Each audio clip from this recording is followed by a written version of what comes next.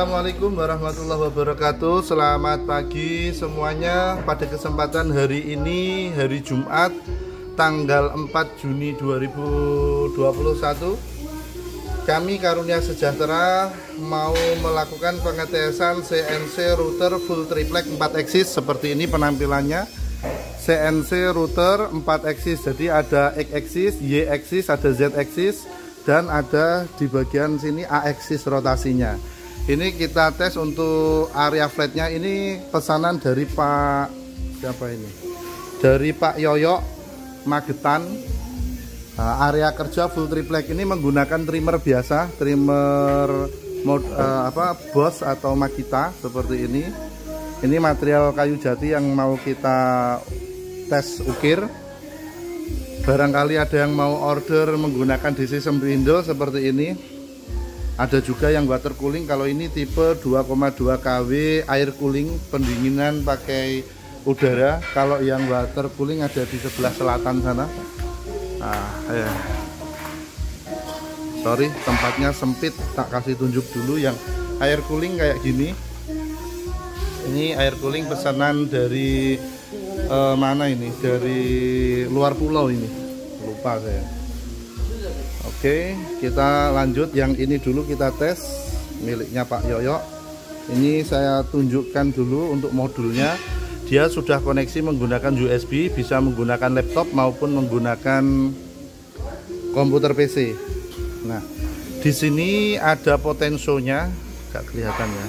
Nah di sini ada potenso. Ini fungsinya untuk memperkecil atau memperbesar RPM nya RPM dari spindle tersebut spindle itu mesin routernya itu ya. Itu biasanya disebut spindle. Nah di sini kenapa kita pakainya yang merek Bosch atau yang Makita? Bukan yang model apa itu? Yang model kecil kepalanya kayak bor karena ini RPM nya bisa tinggi sampai 30.000 bahkan sama yang DC spindle itu pun dia lebih unggul RPM nya bisa 33.000 kalau yang DC spindle itu sekitar 21.000 uh, bedanya nanti di hasil. Hasilnya akan jauh lebih halus dibandingkan yang uh, eh, RPM-nya rendah seperti itu. Itu full triplex sama. Kalau yang ini setengah triplex ini. Ini CNC router setengah triplex. Sama ini plasma router bisa plasma bisa router ini. Ini plat besi yang kita tes. Kalau yang berdiri itu laser. Oke lanjut. Kali ini kita mau melakukan pengetesan mengukir tiga dimensi karena bahannya ya cuma kita punyanya potongan-potongan pendek gitu kita bikinnya juga kecil aja. Ini sekitar 10 kali 20 kalau tidak salah. Nanti kita bikin motif apa model ini model kuda. Ini ada label KS nya ini sudah dibikinkan tinggal kita eksekusi aja tinggal display oke kita play dulu. Bismillahirrahmanirrahim. Kita tes spindlenya bisa nyala apa enggak dengan F5 nyala. Oke kita matikan. Lalu kita start. Kita start di sini. Bismillahirrahmanirrahim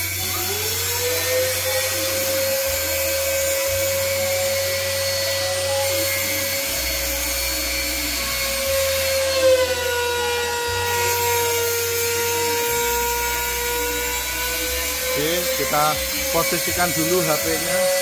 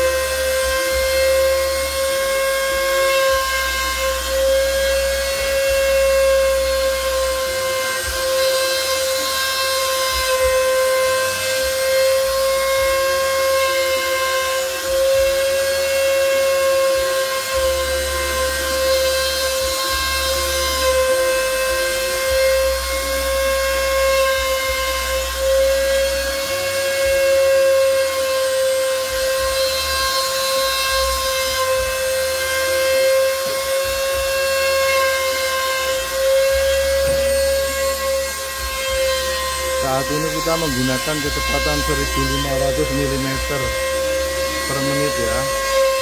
Ini kecepatan yang kita pakai saat ini 1500 mm per menit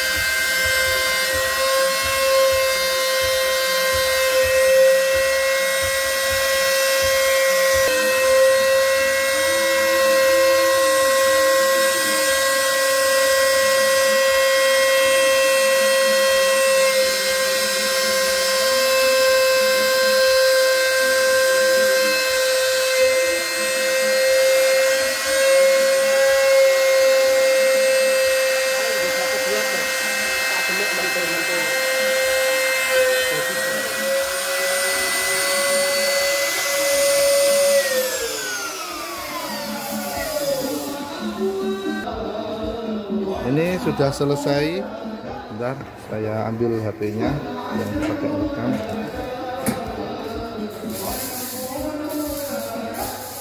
Oke, tinggal kita bersihkan, finishing ya gitu aja. Nanti bawahnya dikasih apa nama. Selanjutnya kita mau menambahkan tanggal pembuatan di sini ya. Ini relief sudah tiga dunia sudah selesai. Tinggal kita tambahkan hurufnya di situ dengan mata pisau bibit. Bismillahirrahmanirrahim. Lanjut.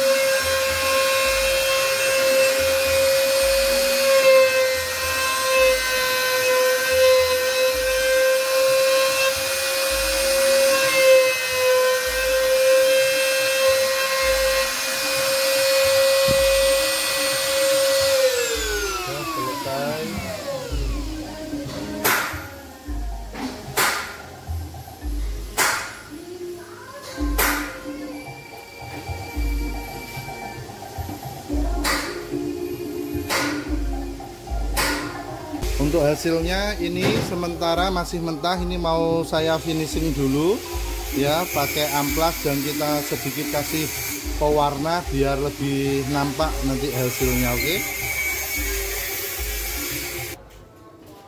ini hasil yang sudah dibersihkan hasilnya. Menggunakan balmus itu tadi ya.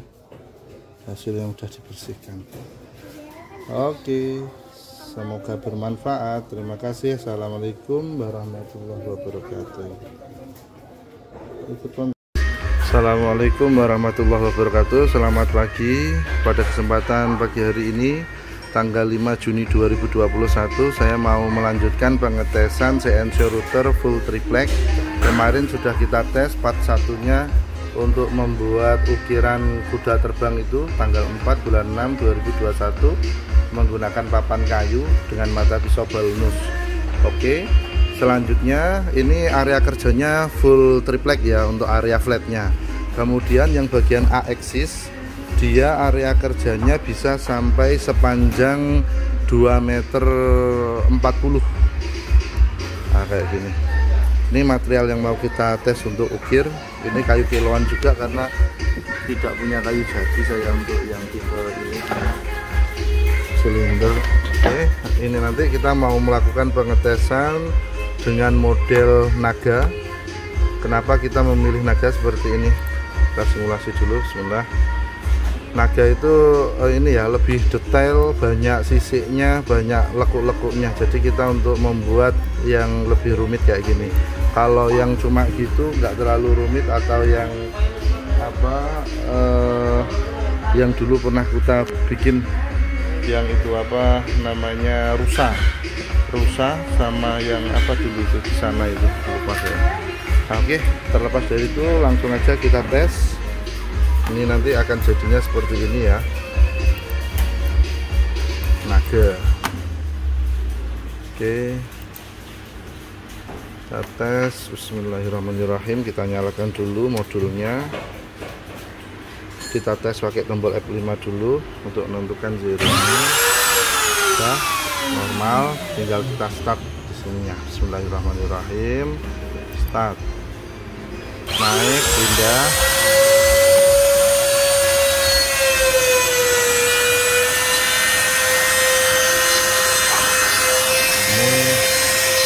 Kita tunggu sampai nanti selesai hasilnya. Kita pengerjaannya menggunakan uh, menggunakan ini ya offset clean. Kalau yang dulu saya bikin tutorial itu dia menggunakan sistem apa? Uh, sistem raster kanan kiri. Kalau ini kita bikin sistem standing oke kita tunggu aja hasilnya nanti. Ini dia sambil berputar sambil diukir gitu ya ini kita menggunakan kecepatan 1000 mm per menit. Semoga hasilnya bagus nanti.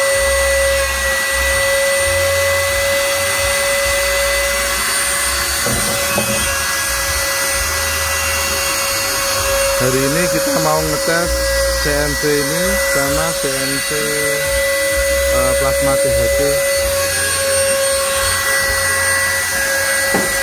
oke kita tunggu dulu. Nanti kita sambung videonya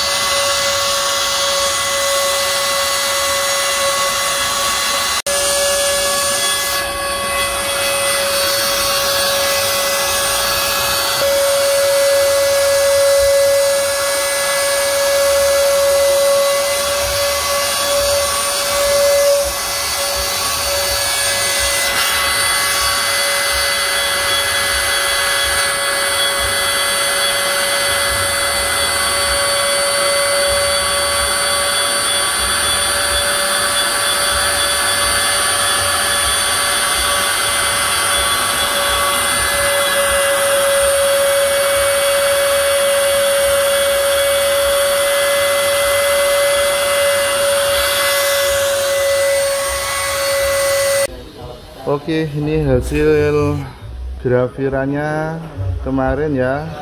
Setelah ditambahin warna.